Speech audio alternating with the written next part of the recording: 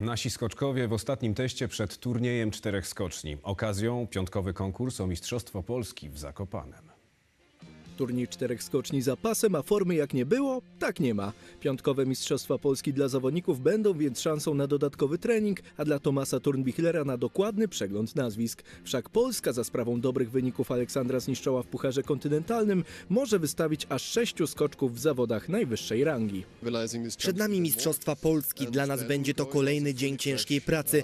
Chcemy odświeżeni wrócić na turniej czterech skoczni. To jest priorytet. Transmisja z piątkowych Mistrzostw Polski na Wielkiej Krokwie od 16.30 w TVP Sport, internecie oraz aplikacji mobilnej. Druga seria także w jedynce.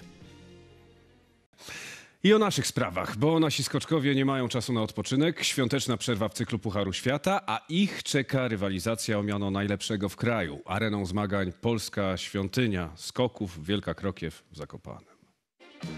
Turniej czterech skoczni za pasem, a formy jak nie było, tak nie ma. Cudownego odrodzenia w Engelbergu tym razem nie odnotowano, na horyzoncie więc zdecydowanie więcej pytań niż odpowiedzi. Dla polskich skoczków droga do Oberstdorfu wiedzie przez Mistrzostwa Polski w Zakopanem i przy okazji tego konkursu przewijać się będzie mityczne w ostatnich tygodniach stwierdzenie okazja do przełamania. Przed nami Mistrzostwa Polski. Dla nas będzie to kolejny dzień ciężkiej pracy.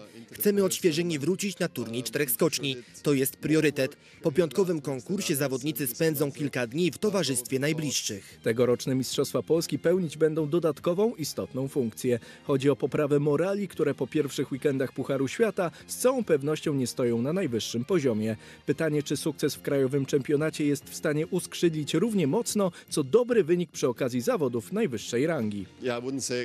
Dobre skoki na pewno pozytywnie wpłyną na pewność siebie zawodników. Każdy musi umacniać się w tym, że droga, którą obrał, prowadzi w dobrym kierunku.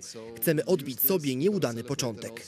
Dobre wyniki Aleksandra Zniszczoła w zawodach Pucharu Kontynentalnego poskutkowały powiększeniem kwoty startowej. Tomasz Turnbichler w konkursach zaliczanych do turnieju czterech skoczni będzie mógł wystawiać po sześciu biało-czerwonych. O tym, kto pojedzie obok Dawida Kubackiego, Piotra Żyły i Kamila Stocha na przełomie roku do Niemiec i Austrii, z całą pewnością zdecydują rezultaty piątkowej rywalizacji. Myślę, że Olek tego miejsca mm, jest pewien. Trójka nasza oczywiście mistrzów, Stok Żyła Kubacki. No i pytanie, jak spiszą się pozostali, bo tutaj miejsce, miejsca numer 4, nie, miejsca numer 5 i 6 są do obsadzenia i myślę, że tu kilku zawodników ma na to szansę, chociaż nie możemy spodziewać się, że będzie to walka na najwyższym poziomie. Piątkowy konkurs będzie nie tylko sprawdzianem formy dla skoczków, ale i dla organizatorów. Wielka Krokiew będzie w styczniu gospodarzem ostatniego etapu pierwszego w historii turnieju polskiego, zawodów zaliczanych jednocześnie do klasyfikacji generalnej Pucharu Świata.